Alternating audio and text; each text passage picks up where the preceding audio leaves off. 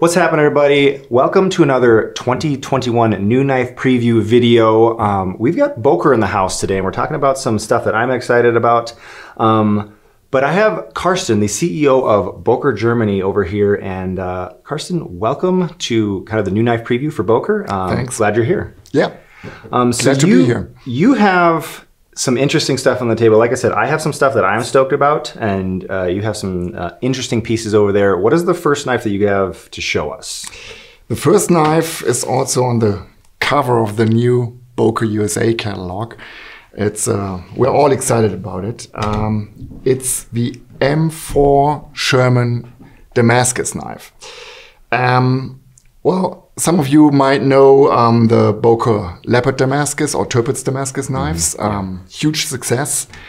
And Boker um, has a long history in knife making, as you know, in Germany, but also in the US. Um, there was a Boker plant in New Jersey from 1900 to 1945 until the end of the war. Right.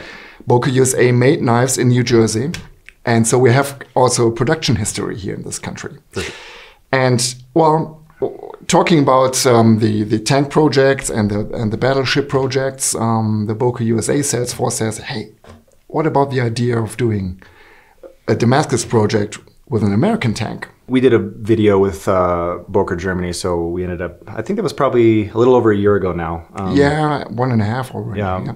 Yeah, I suppose it was September. Yeah. Um, so we went over there, did a whole video on Boker Germany, and one of the things that we learned about or saw there was the Leopard Damascus knives. Yeah. I'm actually really excited because you know Leopard being you know a German tank, so now you have kind of an American version of of that knife, which I'm super stoked about. Correct. And it's even more exciting because, well, the Leopard is still in use. Um, the, already the second version, the Leopard 2, Mm-hmm. a very popular tank. Um, but now we're talking here about a World War II project. Right. So um, we had first to find some some original parts of the, Yeah, of how, the did you tanks. get, how did you get a hold of the steel? Yes, that was really um, um, the work of uh, the Boker USA team. Um, they teamed up with a museum in Virginia. Um, they have original parts of the Sherman tank. Okay. And um, we teamed up with them and um, have a cooperation with them. So we received original parts of the tank, of the Sherman tank, brought them to Mississippi to Chad, Chad Nichols, our Damascus uh, bladesmith. Well, and this is the result, you know, uh, hand forged It is beautiful. hand forged Damascus blade. Um, the pattern we chose um, is kind of the track of a tank in the mud, Okay. right? Yep. Um, we also the design. We tried to uh, get some some specs of the original Sherman tank into the into the knife. Um, the blade screw is kind of the first wheel where the chain is driven on the tank.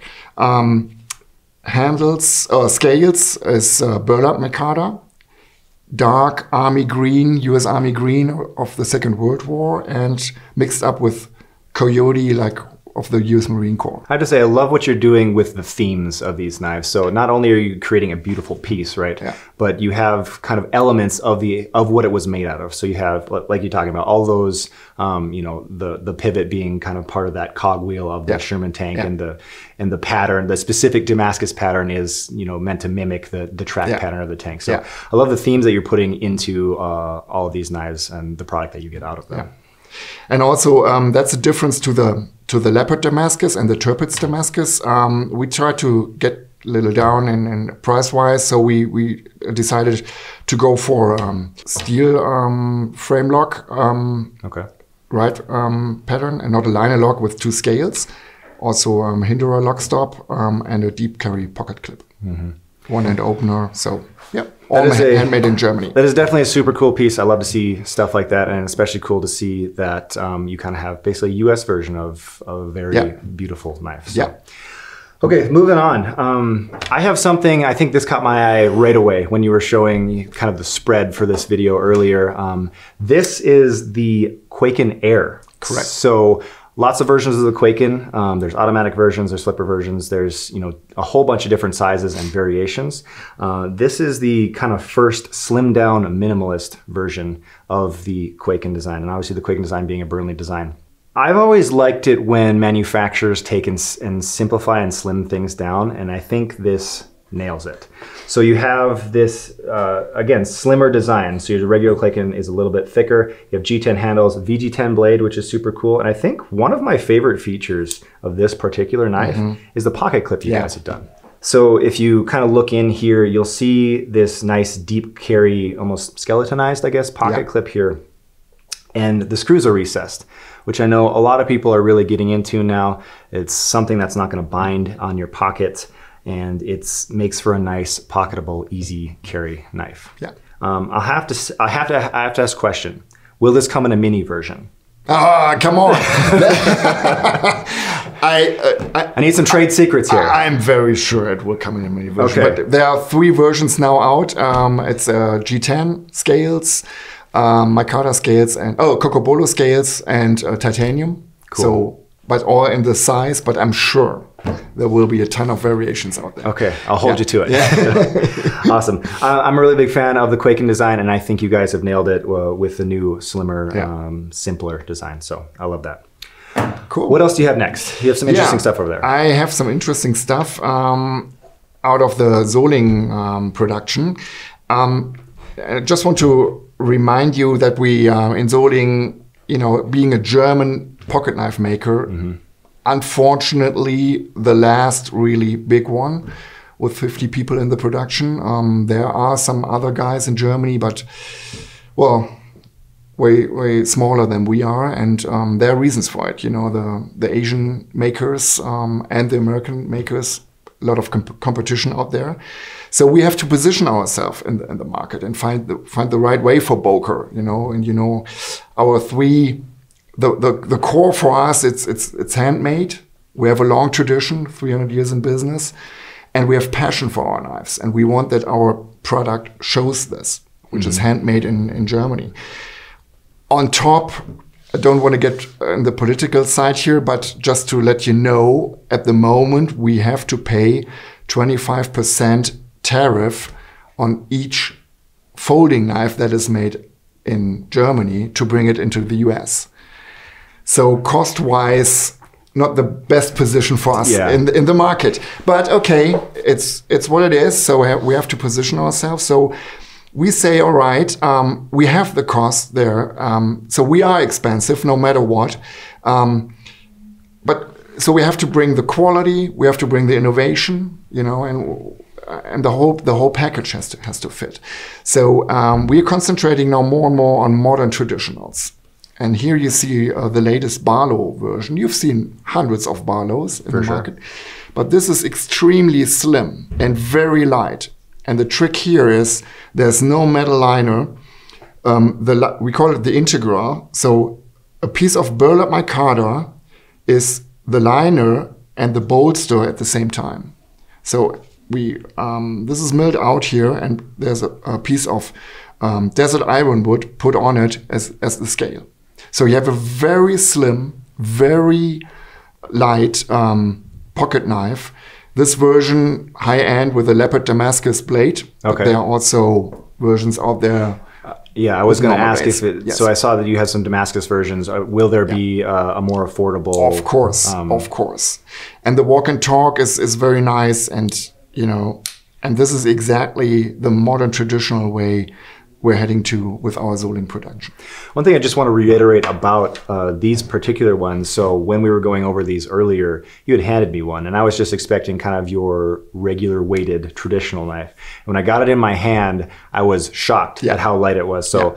Uh, I think that might be one of the bigger selling points of that specific knife. The, Yeah. Like the design and everything is also very nice, but it is extremely light, and I think that is great for a knife without a pocket clip, right? So Yeah. if it's going to be living in the bottom of your pocket, having it take up as the least amount of weight possible, I think, is a huge selling point Yeah. that particular knife. Actually, talking about a you know a normal steel blade with the acid wash um, here and um, uh, canvas micarta scales, same system, no metal liner, extremely light, big pivot screw, so very nice, nice and walk and talk. Yeah. Very cool. Um, it's cool. It's cool to see some innovation in the kind of the traditional, modern, Yeah. traditional, traditional That's space as well. and that's exactly Boker Solingen. cool. Yeah. Next up, well, I'm, I'm excited about all the knives in front of me. I hope so. but again, this is another really exciting and these one. are only the highlights. There Yeah. are way more in the catalog, of course, but we For have sure. limited time. Unfortunately, we cannot put every single new knife that we That's- have in in the video, but uh, this is another one that's exciting for me. So this is something you guys have all seen before. So the Boker Plus Balisong Trainer, it's been popular. It's been out for a little while. It's a very smooth flipping, well priced Balisong Trainer. Well, I got something for you. If I open this up. This is a live blade version. I was waiting for you guys to come out with the live blade version. We were waiting because we we've been selling this these knives uh, big time in Europe, big time. But now we have the possibility to offer them here in the US. Um, I'm under the opinion that the trainer is probably one of the best placed price wise Yes. um, when it comes to Balisong trainers. So it's cool to see like this is everything you love about the Balisong trainer from you guys, but it's the live blade version. So if you've been dying for like uh, the like, the live bladed version of the Balisong trainer, this is for you. So like the G10 handles, you have the spring loaded latch. Um, obviously, you have um, D2. Yeah, It's a so you have your blade. D2 blades. So these, a lot of times when we do these videos, we get you know prototypes or pre-production models. Yeah. Uh, so the this blade will be D2. Um, but again, I, I've said it twice already, but this everything you love Yeah. about the Yeah. Boker Plus Balisong trainer, you have, you have in the Boker Plus Balisong. It also comes in the mini, just like the trainer version does. So if the large one isn't, you know, for you, you have the mini version. Uh, and it's my understanding that these will be coming in different colors uh, at some point, correct? Yeah, definitely different blade styles, colors, you name it. Yeah. Um, they're so successful because they're hitting exactly the, the, sweet spot between the high end Balisongs Mm-hmm. and the way cheaper stuff out of Asia. Um, you know, good price point, 80 $90, Yeah. and then, but outstanding quality. For sure. If you're looking for an awesome quality, well flipping Balisong Yeah. um, for a killer price, I think these fit the bill. And like I said, different variations, large, small. The, the I know the trainers come in a blue and a red. Um, there's these black ones, and you said there's there's gonna be more Yeah, colors. So pick your come. poison when it comes to which variation that you prefer. There's there's gonna be something for you in this line. So that's the uh, Boker Plus Balisong. Uh, I'm super pumped about that. Right.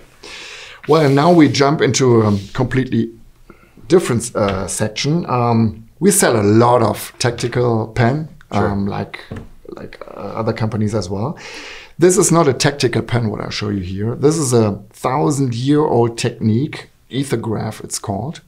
It's a um, metallic tip, and it's no ink or no refill or no um, no abrasive. It just reacts by oxidation. The oxidation of this metallic tip and paper reacts. You, you can't get it away. It, it stays. You know, it, it rides forever. I can do this forever. I think well, that, that's a great point, and I think Yes. that is a valid selling point of that pen. Um, the fact that you don't have to change cartridges, right? Especially if you're somebody who uses your pen a lot, like Yeah. you can potentially go through cartridges pretty fast. Oh, yeah. So that is a selling point. I think also something that's cool about that is how simple it is. So if you're an EDC guy and you're, you know, you work in a little bit rougher environment, you don't have to worry about a pen breaking or exploding in your pocket or anything like that. It's just going to work. Correct. And it has a titanium handle or titanium body basically, plus this uh, Ethergraf tip. A cool pocket clip you can take away if you want. Um, so the the very classy uh, pen style uh, we decided for this and a very competitive pricing. Yeah. Um, so that's the trick here. We, uh, this technique is out there, yes, but sky high pricing, and and we bring it down to an affordable level. I love it. Yeah, I've seen I've seen a few of these things floating around social media and stuff, and I always thought, wow, that's really cool. Yeah. I've never actually held one until today and tried it until today. So uh, it's definitely a cool technique. Um, it definitely has some advantages when it comes to you know uh, maintenance, when it comes to durability as well. Yeah. So and it's just a cool item. Yeah. that nobody else has in their pocket. So, so be one of the first for sure. So get yourself show it to your buddies. Get yourself a pen that uses the Ethergraf technique. Yes, yes. All right, up next is my, my the one I have uh, on the table is the last one that I have. This one's fun uh, because of the fidget factor. So this is the USB OTF. Yeah. Uh, USB because Some some idiot came to this. I heard this was this was Karsten's. It was me. I heard this was Karsten's idea, but I guess uh, USB, just like a USB thumb drive, it, Yeah. it does kind of look like a USB thumb drive. So Yeah. that's that's the uh, onus behind the name.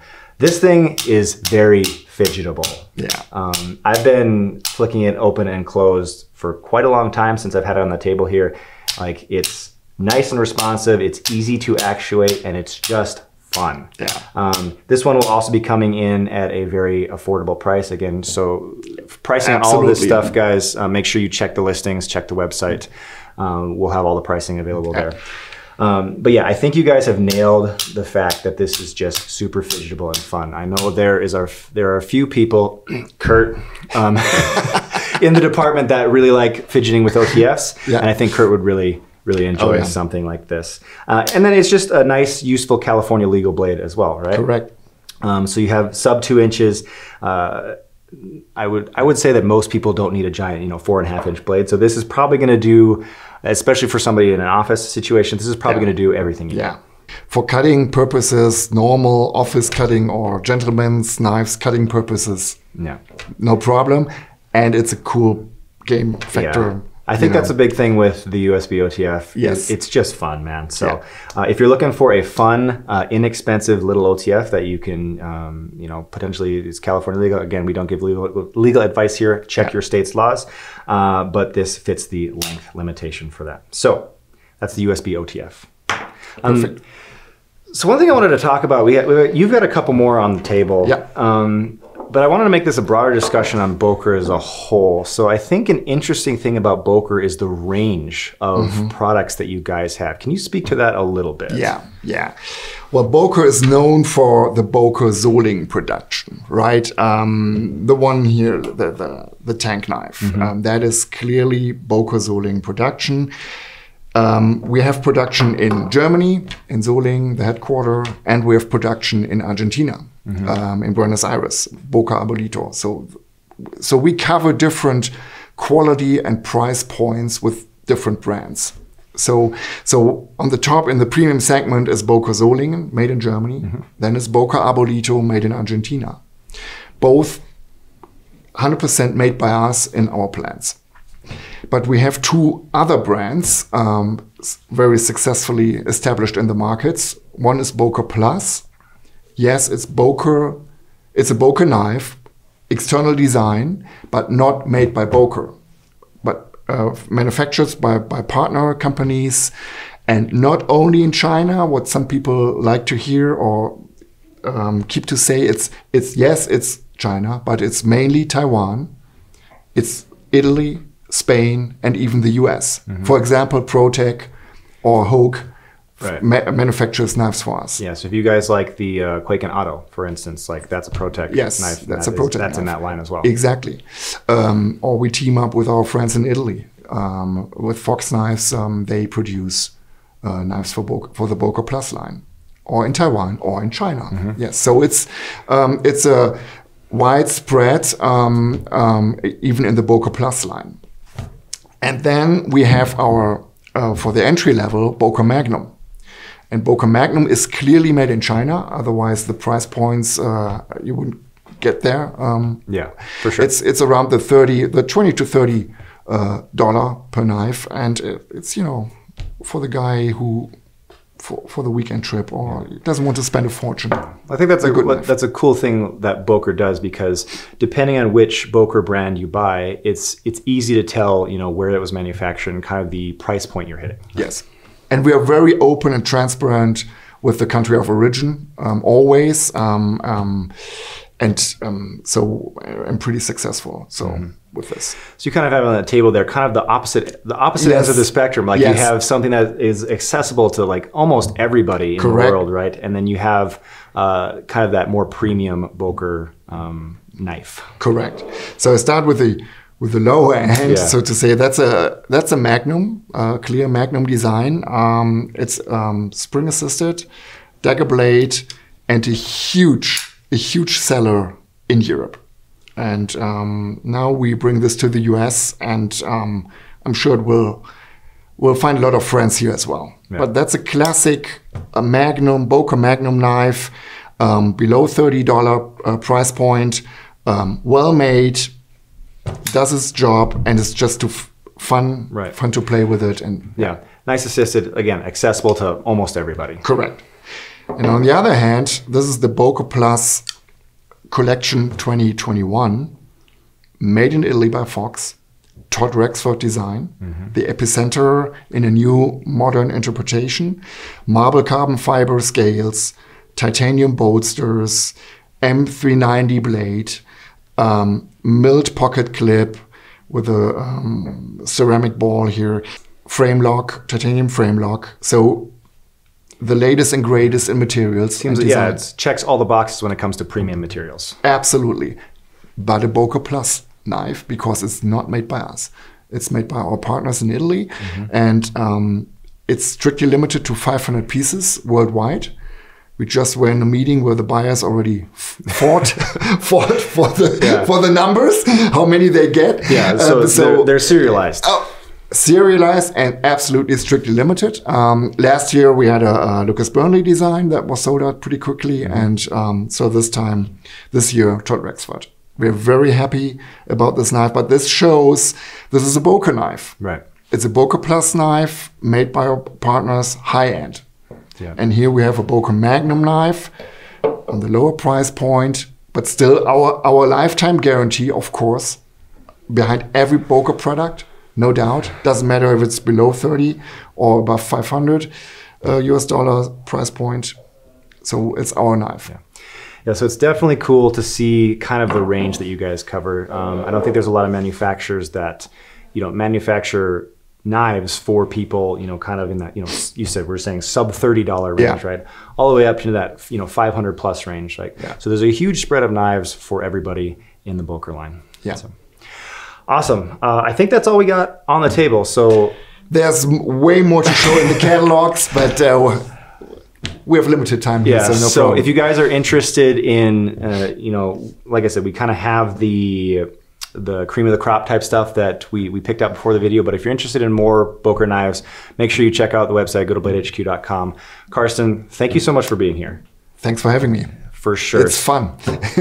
Make sure you guys uh, check out the New Knives 2021 playlist. Uh, there's a bunch of awesome brands, uh, new knives on that playlist, and we will see you guys on the next one. Hey, you made it to the end screen. If you're not already subscribed to Blade HQ's YouTube channel, hit that button right over there.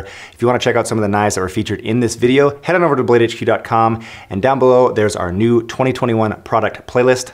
We'll see you in the next one.